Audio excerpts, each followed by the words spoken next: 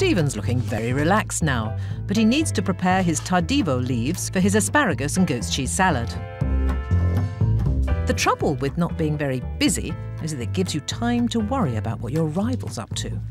Let's have a little taste. Yeah, of course you can. No, you're not allowed to.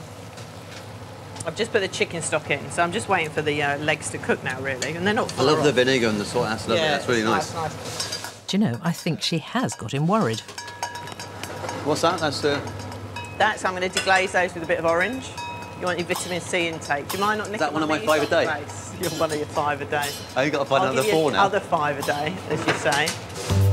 Having driven off the enemy, Angela can now get on with her dish. The chicken mousse is chilled and ready to go into the quail breasts. But she's no sooner started than Stephen pops round again.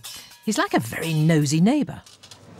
It's like a quail sandwich. It is a quail sandwich. I could call it that, and I'd win hands down just by putting sandwich on a menu. I can just feel it's going that way. Do you know what I mean? The more crazier you are, but I might be totally wrong. I have total faith in Prue that she's all about just good, honest cooking.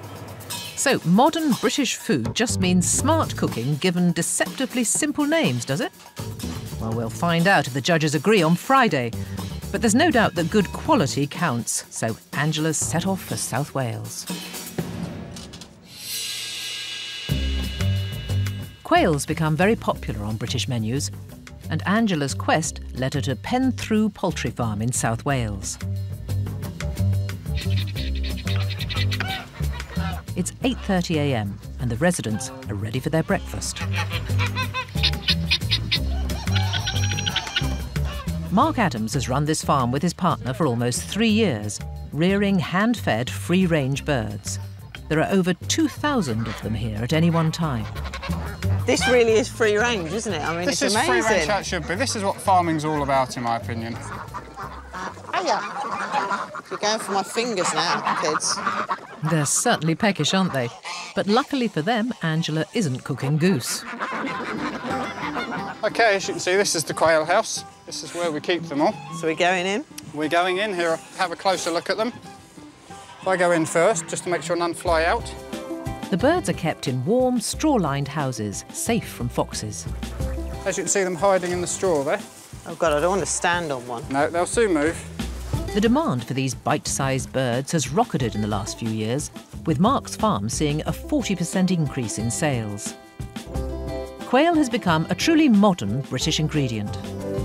People obviously like them as a delicacy for their eggs mainly, Yeah. but more recently the meat as well. The meat, yeah, yeah, of I mean, course, the quail restaurants eggs, yeah. seem to like meat from the quail, particularly because it's a nice size for a nice starter. Yeah, that's well, that's exactly what I'm doing Very with little mine, fuss. actually. you literally have the whole bird. It's on a plate. You haven't got to cut it into portions yeah, or do yeah. anything fancy with it.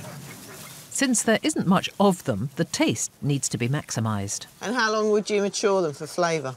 In terms of hanging them, they're normally hung for no more than about three days. Right, Because of their size, if you hang them much more than three days, they can go a little too gamey. Too gamey, okay. Can we try and pick one up? Certainly, If you just approach Hey, it stay. nice and slowly, and then just try and cup your hands around it. Do you want to catch one of Oh, them? no, no, Right, no, there we go. it. Nearly there. They're quite fast. They are, aren't they? Oh, come on, come on, come on, come on. I'm very slow, actually.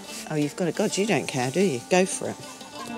If you cup your hands around their wings, otherwise There. they'll fly out of your hands. Now, this little bird probably doesn't want to hear about cooking, but fortunately, Mark has one he prepared earlier. How would you eat your quail?